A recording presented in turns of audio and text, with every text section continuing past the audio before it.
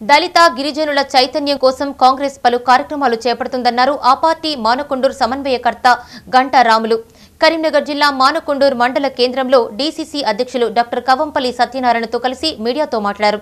హుజురాబాద్ ఉప ఎన్నికల కోసం దళిత బంధు స్కీమ్ను టీఆర్ఎస్ తీసుకొచ్చిందని తెలిపారు.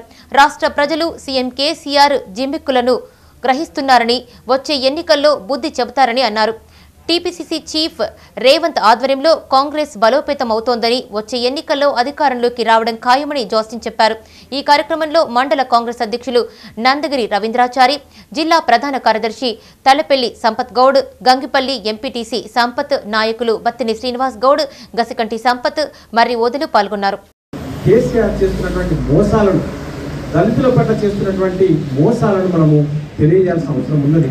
నిజంగా కూడా ఆనాడు కాంగ్రెస్ పార్టీ ప్రజలు చదువుకోవాలి పేదలు చదువుకోవాలి దళితులు చదువుకోవాలని ఫీజు రీఎంబర్స్మెంట్ ఇచ్చినాడు.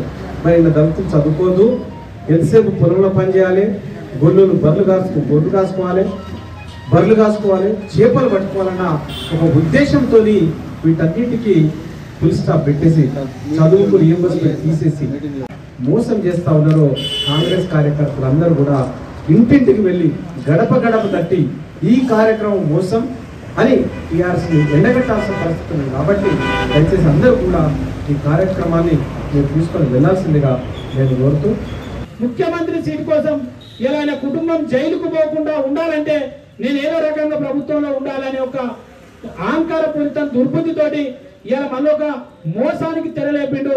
కాబట్టి ఈరోజు మరి పిసిసి అధ్యక్షులు రేవంత్ రెడ్డి గారి ఆధ్వర్యంలో ఇవాళ దళిత గిరిజన ప్రజానికాన్ని అందరినీ కూడా ఇంటింటికి వెళ్ళి కాంగ్రెస్ పార్టీ వాళ్ళని చైతన్య పరుస్తుంది ఎందుకంటే ఇక మోసపోవడానికి లేదు.